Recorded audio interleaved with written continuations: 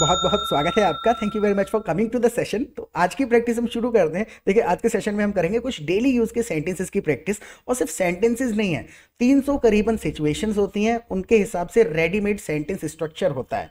अगर सिचुएशन में sentence start करना आ गया तो समझ लीजिए पूरी इंग्लिश आपको आ गई। उन स्ट्रक्चर्स की हम यहाँ प्रैक्टिस करेंगे कि इस सिचुएशन में सेंटेंस कैसे बनेगा। Right right? स्ट्रक्चर रेडीमेड होता है, फिर उसमें बीच में बंदे का नाम और बंदे का काम बदल दिया जाता है। उसी को फ्लुएंट फ्लुएंटली उसी तरीके से इंग्लिश बोली जाती है। जहाँ तक ग्रामर का सवाल है, कुछ सीखने का नहीं है। पचास ग्रामेटिकल रूल्स होते हैं कुल मिला करके, और वो सारे के सारे आपको आते हैं। That's why whatever you hear in English you understand everything समझ में आ रही है तो सीधी सी बात है कि आपको आती है, अब आपके सामने कोई अरबी बोलने लगे, एक भी शब्द समझ नहीं आएगा क्योंकि कुछ भी नहीं आता। तो इंग्लिश समझ में आ रही है तो समझ लीजिए आती है। बोलना नहीं आ रहा है, बोलना इसलिए नहीं आ रहा है क्योंकि गलत तरीके से प्रैक्टिस कर रहे हैं तो उन सेंटेंस स्ट्रक्चर्स को हम सीखेंगे। हर सेंटेंस का ग्रामर साथ के साथ डिस्कस करेंगे so I be sharing my screen with you screen में आपके साथ में शेयर कर देता हूँ। देखिए प्रैक्टिस करने का बेस्ट तरीका बस यही है कि whatever you see on the screen in English you repeat every sentence after me loudly ज़ोर से बोल के प्रैक्टिस करिए। देखिए, महँगाई बढ़ती जा रही है, कमाई घटती जा रही है। एक इडियोमेटिक तरीके से इसको कहा गया है। सारे शब्दों को यूज़ ही नहीं करना है, बिल्कुल। सिंपल तरीके से inflation is on the rise and income is decreasing on the rise बस ये चीज़ याद रखनी पड़ती है the inflation is on the rise and income is decreasing यानी कि कमाई घटती जा रही है। देखिए, जा रही है लिटल ट्रांसलेशन नहीं करेंगे, महँगाई बढ़ती जा रही है, कमाई घटती जा रही है तो ये चीज़ें होती हैं राइट अब इसमें हमें अगले सेंटेंस को समझिए, फिर कंपेयर करके देखिएगा कि दिक्कत हम कहाँ करते हैं, क्यों अटक जाते हैं बोलते समय। देखिए, अगला सेंटेंस है कि prices are rising and income is shrinking, prices are rising and income is shrinking. बिल्कुल सिंपल देखिए बेसिक ही ग्रामर है, लेकिन लहजा पता होना चाहिए कि इस तरीके से बोला जाता है। प्राइजेस आर हाई राइजिंग यानी कि कीमतें बढ़ रही हैं income is shrinking income shrink होती जा रही है श्रिंक मतलब कम हो जाना, सिकुड़, संकुचित होता होता जाना, सिकुड़ जाना। So inflation is on the rise या फिर प्राइसेस आर राइजिंग दो तरीके से हमने इसको कह दिया और अगर इसी तरीके इसी सेंटेंस को कहने का कोई तरीका आपके माइंड में आता है तो प्लीज़ अपने सेंटेंसेस आप कमेंट सेक्शन में लिखें आपके सेंटेंसेस ठीक होंगे then I give you a like और गलत होंगे तो हम उनको करेक्ट कर देंगे right look at the next sentence पता नहीं आगे क्या होगा।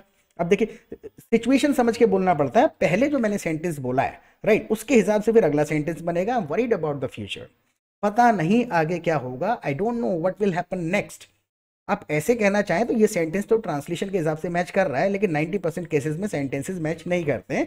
I am worried about the future कि भैया बड़ी टेंशन हो रही है मेरे को तो। महँगाई बढ़ती जा रही है। The inflation is rising day by day the inflation is increasing day by day rising increasing और भी कई सारे वर्ड इस्तेमाल किए जा सकते हैं। सो so, पहले हम एक वेबसाइट बनाने के पंद्रह हज़ार रुपये लेते थे। मेरा वेबसाइट का भी काम है। तो पहले हम एक वेबसाइट बनाने के पंद्रह हज़ार रुपये लेते थे और अब कोई तीन हज़ार भी नहीं देता।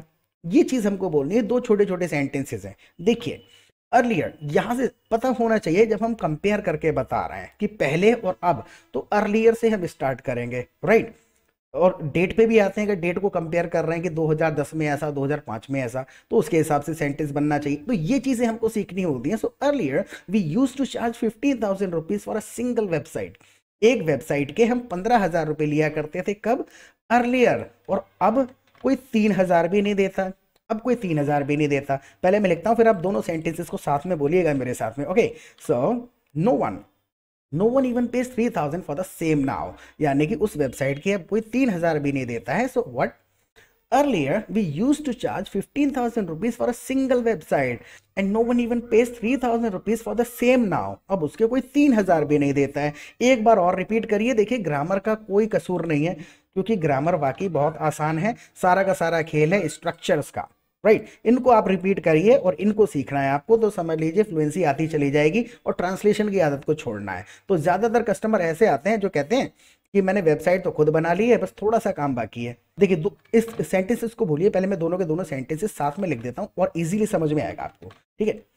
फिर इसको इस पूरी सिचुएशन को हम दो तीन तरीके से बोलते हैं। ज़्यादातर कस्टमर ऐसे आते हैं कि मैंने वेबसाइट बना ली है, बस थोड़ा सा काम बाकी है राइट देखो, इस तरीके से most of the customers we get often से I have built the website myself मैंने I have built the website myself just need a little assistance right थोड़ा सा काम बाकी है, देखिए, ये चीज़ है जिसको हमें निकालना है। ट्रांसलेशन को निकालना है, सिचुएशन को समझना है, उस सिचुएशन के हिसाब से इंग्लिश बोलनी है, राइट? right? कि सिचुएशन में क्या वर्ड है मेरे पास, उस वर्ड को कैसे मैं सेंटेंस में फिट कर दूँ? So most of the customers we get often से थोड़ी बहुत ग्रामर आपको पता होनी चाहिए, जब हमने कस्टमर्स कह दिया है तो ऑफन से का इस्तेमाल करेंगे तो इतनी बेसिक ग्रामर तो आपको पता ही होगी। अब देखिए, इसी चीज़ को दूसरे तरीके से और इडियोमेटिक तरीके से बोलते हैं। Kind of customers we get these days kind of customers we get these days are like build the website myself just need a little assistance I have build the website myself just need a little assistance कैसे? Kind of customers we get these days are like यानी उनका behaviour ऐसा होता है।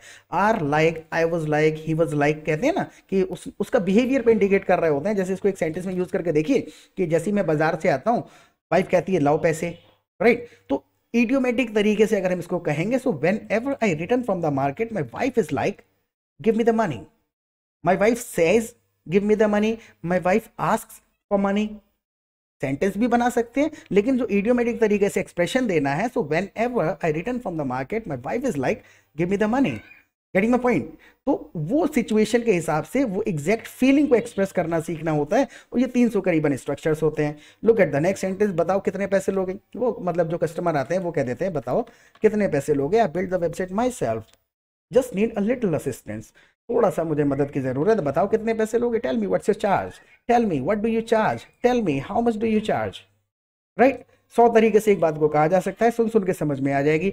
अब उन्हें कौन बताए कि जितना टाइम नई वेबसाइट बनाने में नहीं लगता, उससे ज़्यादा पुरानी वेबसाइट को ठीक करने में लगता है। छोटे छोटे देखिए, जितना ज़्यादा, उतना ज़्यादा जब हम कंपैरिजन कर रहे हैं, दोनों सेंटेंसेस को लिख लेते हैं, फिर बनाते हैं साथ में। देखिए, अब उन्हें कौन बताए जितना टाइम नई वेबसाइट बनाने में नहीं लगता, उससे ज़्यादा पुरानी वेबसाइट को ठीक करने में लगता है। अगर आपको स्टार्टिंग आती है सेंटेंस की, स्ट्रक्चर पता है तो वो आदत में आ जाएगा। देखो कितना ईजी है। देखो सिंपल उन्हें कौन बताए? ये तो सिंपल हो गया how to tell them right उन्हें कैसे बताएँ? हाउ टू टेल देम याद कर लीजिए how to explain him how to tell them how to explain them उन्हें कैसे बताएँ right fixing an existing website यानी कि यहाँ से स्टार्ट कर देंगे पुरानी वेबसाइट को ठीक करना। Fixing an existing website takes more time than creating a new one than creating a new one यानी कि fixing an existing website takes more time than creating a new one इस तरीके से हो गया। अब इसी चीज़ को थोड़ा सा और अलग तरीके से कहना आना चाहिए। वो अलग स्ट्रक्चर है। It takes more time to fix a website it takes more time to fix an existing website it से स्टार्ट कर सकते हैं। It takes more time to fix an existing website than creating a new one right तो बहुत छोटा छोटा सा अंतर होता है। उसी को सीखना है। ये सेंटेंस आपको अब सिचुएशन के हिसाब से याद आ गया। अब मान के चलिए इसी के बेसिस पे अब आपको कहना पड़े कि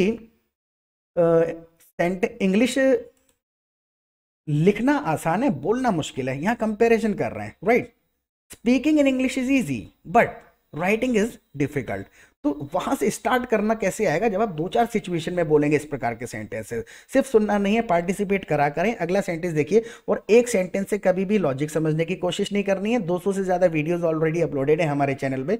300 स्ट्रक्चर्स होते हैं कई बार रिपीट करे हुए हैं। अब आपने ये सुन लिया, समझ आया तो अच्छी बात, नहीं समझ में आया तो आप इसको छोड़ दो। बस सुन लिया आपने, अगले सेशन में फिर से आप दूसरी सिचुएशन में इसी स्ट्रक्चर को सुनेंगे तो धीरे धीरे लॉजिक समझ आता चला जाएगा। राइट एक सेंटेंस के पीछे नहीं पढ़ना है कि इसका रूल क्या है, ऐसा क्यों बोला जा रहा है?